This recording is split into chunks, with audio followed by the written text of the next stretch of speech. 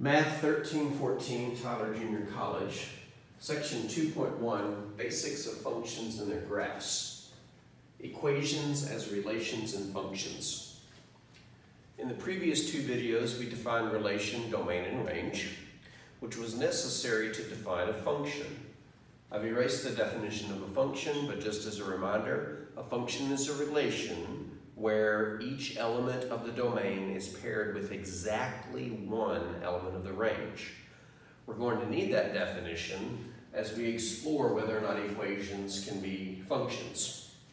But in order to be a function, you must first be a relation, and a relation by definition is a set of ordered pairs. So how can we justify saying that an equation is a relation? Why is an equation considered a relation? Well, the answer is actually quite simple. An equation can generate ordered pairs. Now, what do I mean by generate ordered pairs? Well, if you have an equation, an ordered pair either is a solution or is not. For example, and then we'll get to the question, are these functions?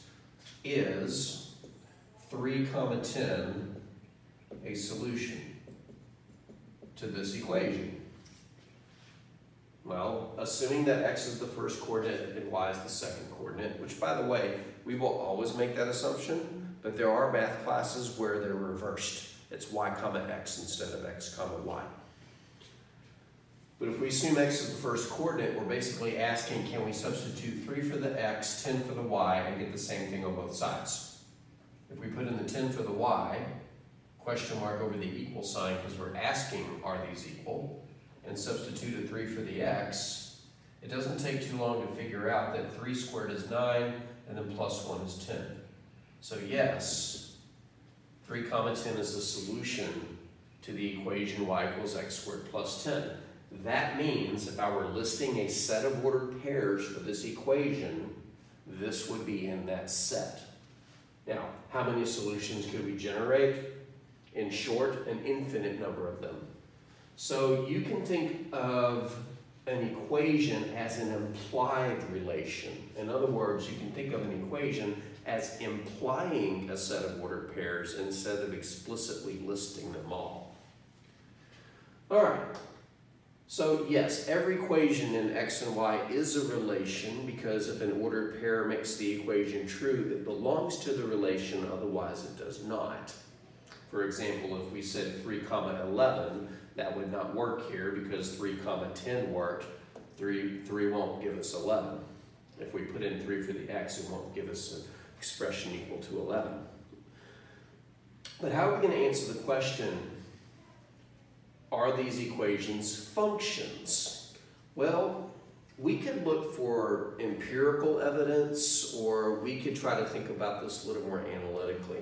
Now, what do I mean by empirical evidence? If this is a function, then every x will give us exactly one y value because every element in the domain is paired with exactly one element in the range. So think about it. Think of a number. Keep it small because I'm going to ask you to do the math in your head. Think of a number, put it here where the x is. So square your number. Now add 1 to that answer. And my question is, how many final answers do you have? You should only have a single answer, right? For example, if your final answer was 26, you started with probably with x equals 5. You could have started with x equals negative 5. So it seems like if we substitute one value for x, we will get exactly one value for y. To not be a function, I would have to find a value of x that would produce two values of y, and we're not going to be able to do that. So this one is a function. Yes, every x will be paired with exactly one y. What about this one? x equals the absolute value of y plus 4. This one's a little trickier to attack. But don't we have a technique for solving absolute value equations? We do. And really what we're trying to figure out is if x equals something, must y equal exactly one thing? Or could y equal multiple things? Now let's look for empirical evidence. For example, let's say, suppose, I don't know, pick any number. Let's say x equals 7. If this is a function, then when I substitute 7 for the x, I have to get exactly one answer. Now that won't make it a function, that just won't break it. You can't check every ordered pair to see if it is, but you only need one ordered pair to show that it isn't. So let's pretend x is equal to 7. We have a technique for solving this. I'm not going to review it, it's in the previous series of videos. I'm just going to do it. To solve absolute value equal to number, you put the inside equal to the number, but you also put the inside equal to the opposite of the number. So either y plus 4 is 7 or y plus 4 is negative 7. And if we solve both of these, we get y equals 3, but we also get y equals negative 11. Which means that 7 as the x, comma 3 as the y is a solution to this equation, but so is 7 comma negative 11. That pair of ordered pairs violates the definition of a function. So the answer is no, it's not a function. But that's if you attack it empirically. Let me look for evidence that you are not a function.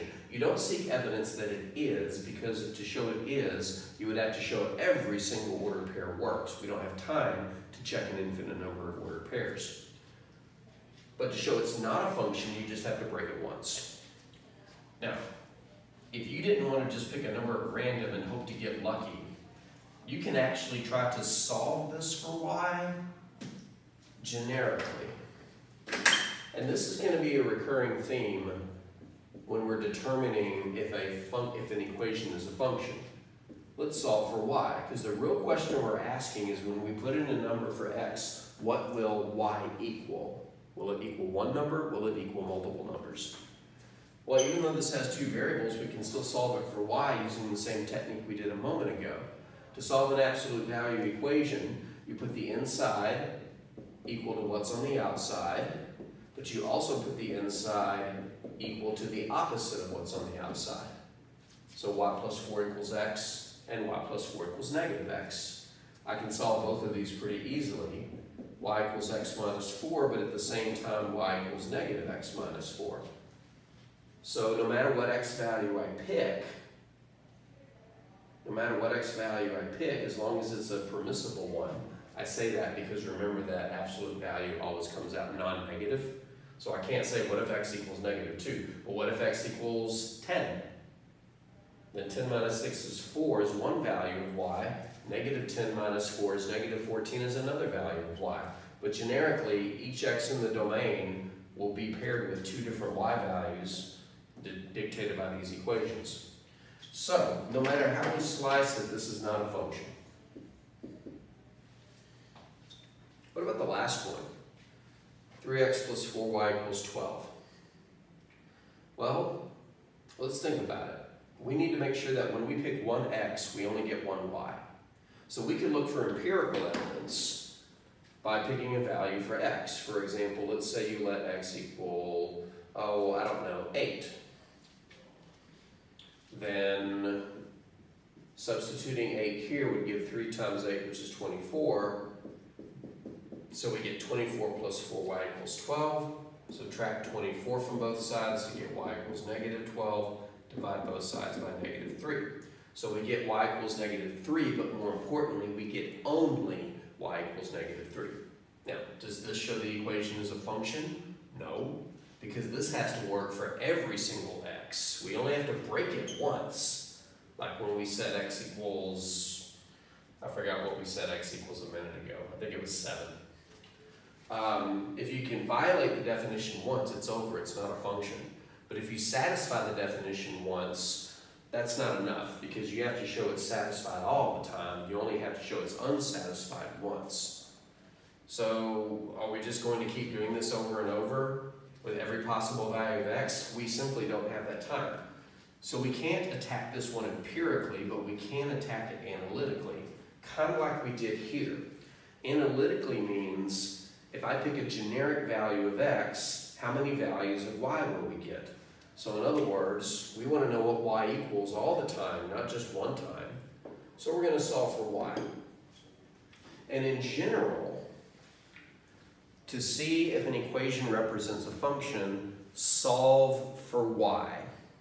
If what you get will only produce a single value for y, then we're good. But if what you get will produce multiple values of y, then you're not a function. Let's solve this for y. It's not as hard as it seems.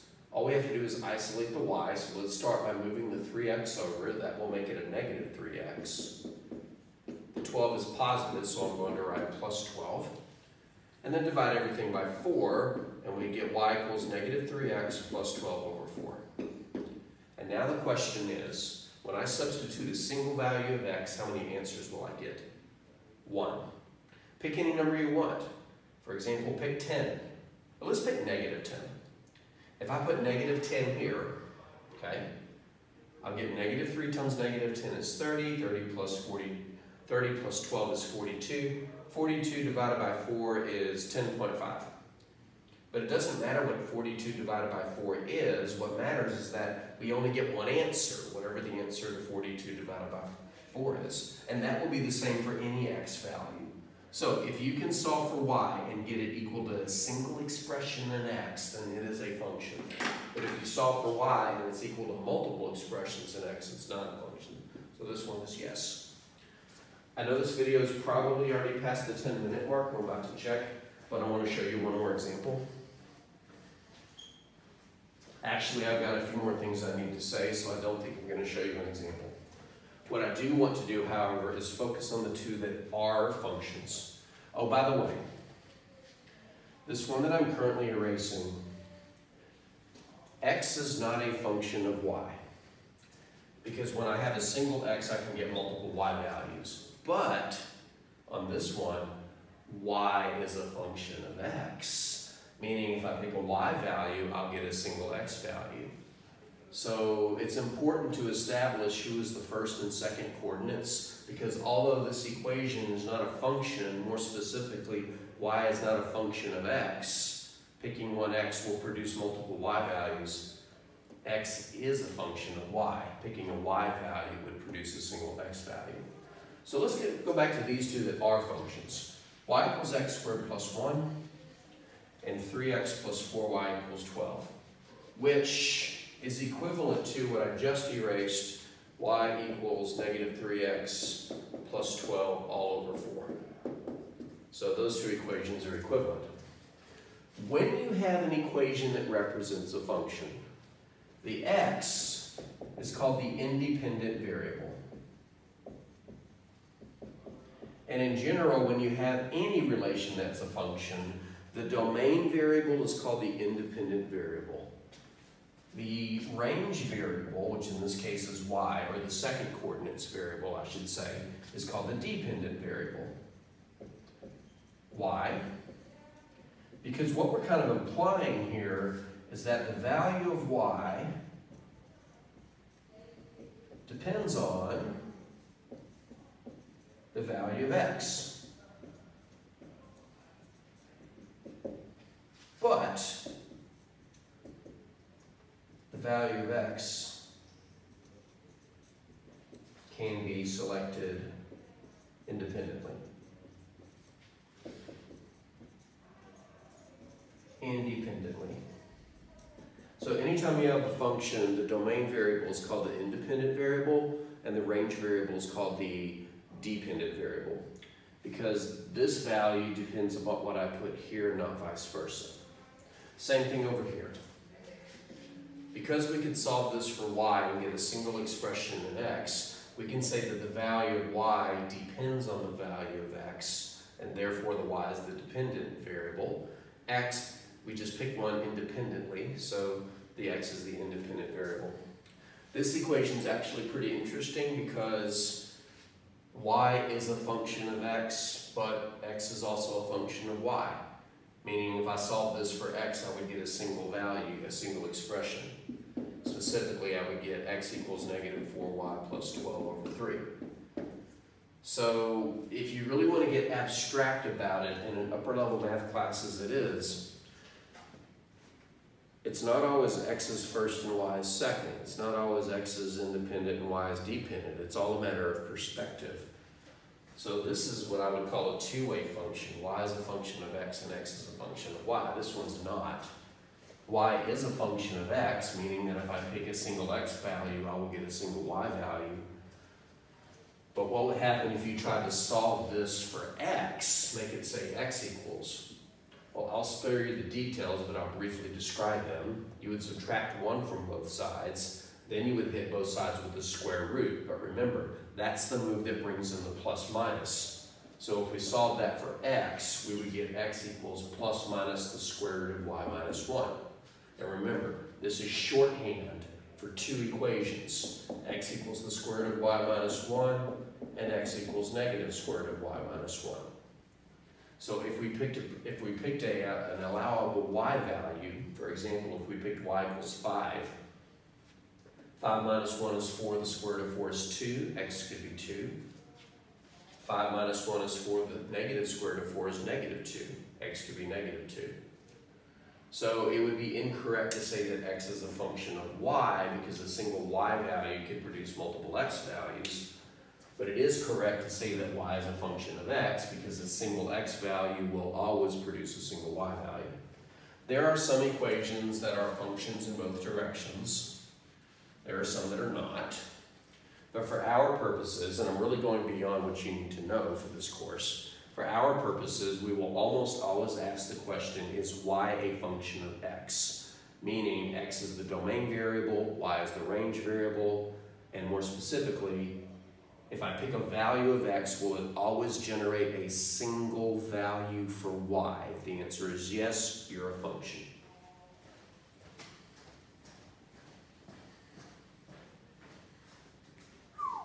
Long video.